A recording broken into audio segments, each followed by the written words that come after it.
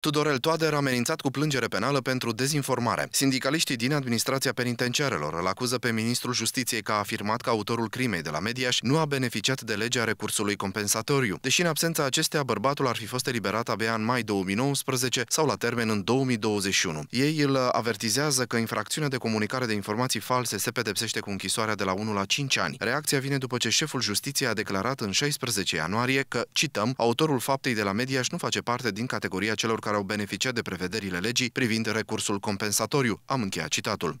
Simultan cu avertismentul transmis ministrului justiției, sindicaliștii din penitenciare lansează o prognoză de coșmar. Ei susțin că dintre cei peste 14.000 de beneficiari ai recursului compensatoriu eliberați din închisori până în acest moment, peste 70% vor recidiva în maximum 3 ani de zile de acum încolo. Legea recursului compensatoriu a intrat în vigoare la 19 octombrie 2017. Potrivit legii, deținuții care au stat în condiții improprii beneficiază de 6 zile libere la fiecare 30 de zile executate. În prima zi în care legea recursului compensatoriu a intrat în vigoare, au fost eliberați 529 de deținuți. Confruntat cu valul de critici scat în urma valului de crime, violuri și tâlhării comise de recidiviști eliberați în baza recursului compensatoriu zilele trecute, Tudorel Toader punea sub semnul întrebării aspectul constituțional al legii și dădea vina pe fostul ministru Raluca Prună, Consiliul Superior al Magistraturii și Parlament pentru adoptarea textului în formă actuală.